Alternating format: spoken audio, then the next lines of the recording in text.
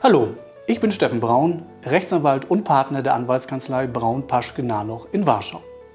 Unser Kanzleiteam berät deutsch- und englischsprachige Unternehmen bei allen Fragen rund um das polnische Wirtschaftsrecht, aber auch bei allen Fragen rund um das polnische Wirtschaftsstrafrecht.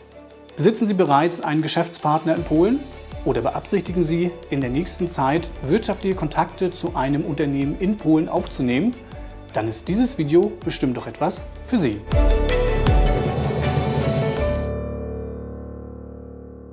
Wenn Ihr Schuldner Ihre Rechnung nicht bezahlt, auf Ihre Mahnung nicht reagiert und für Sie einfach nicht mehr erreichbar ist, dann sollten Sie ihm zeigen, dass Sie es ernst meinen. Denkbar wäre dann, eine Anwaltskanzlei mit Sitz in Polen zu beauftragen, die sich mit Ihrem Schuldner in Verbindung setzt. Das bedeutet jedoch noch nicht, dass Ihre Angelegenheit vor Gericht gebracht wird.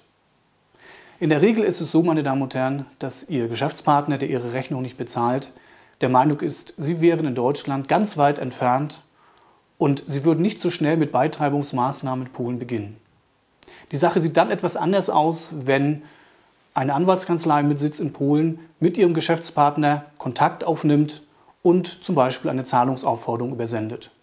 Dies macht aus unserer Erfahrung einen größeren Eindruck auf Ihren Geschäftspartner, als wenn die Kontaktaufnahme einzig allein durch Sie oder durch Anwaltskollegen in Deutschland geschieht.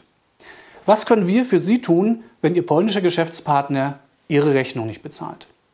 In der Regel versuchen wir zunächst einmal herauszufinden, warum Ihr Vertragspartner Ihre Rechnung nicht beglichen hat. Das kann unterschiedliche Gründe haben und hat in der Regel mit Böswilligkeit nichts zu tun.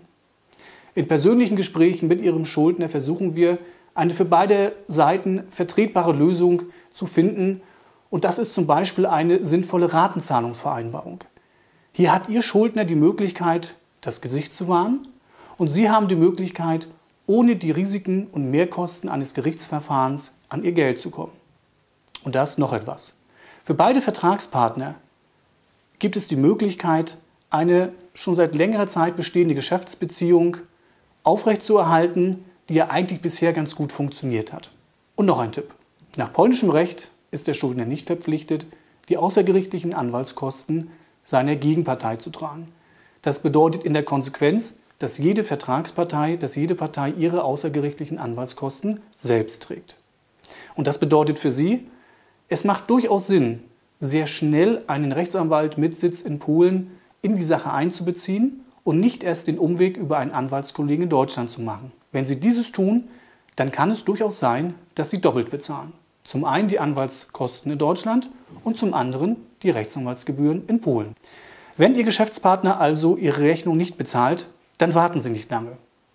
Setzen Sie sich mit uns in Verbindung und wir versuchen dann mit Ihnen die Schritte vorzubereiten und umzusetzen, damit Ihr Schuldner Ihre Rechnung bezahlt. Unsere Kontaktdaten finden Sie im Abspann zu diesem Video. Ich bedanke mich für Ihre Aufmerksamkeit. Bis bald.